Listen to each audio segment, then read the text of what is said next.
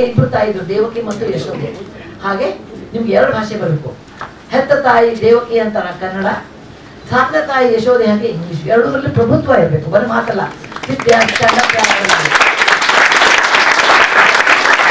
ತಾಯಿನ ಮರಿಬಾರ್ದು. ಎಂತ ತಾಯಿ ಮರಿಬಾರ್ದು.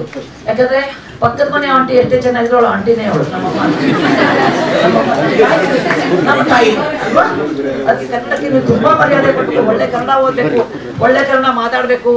ಅದೇ ತರ ಒಳ್ಳೆ ಇಂಗ್ಲಿಷ್ ಓದ್ಬೇಕು, ಒಳ್ಳೆ ಇಂಗ್ಲಿಷ್ ಕಲಿಬೇಕು ಒಳ್ಳೆ ಕೆಲಸ. ಇವೆಲ್ಲ ನೀವು ಕಲಿಬೇಕು ಅದು ಧೈರ್ಯ ಇರಬೇಕು ಅದ್ರ ಇಬ್ಬರು ಜನ ಮೈಗೆ ಹುಟ್ಟಿಲ್ವಾ?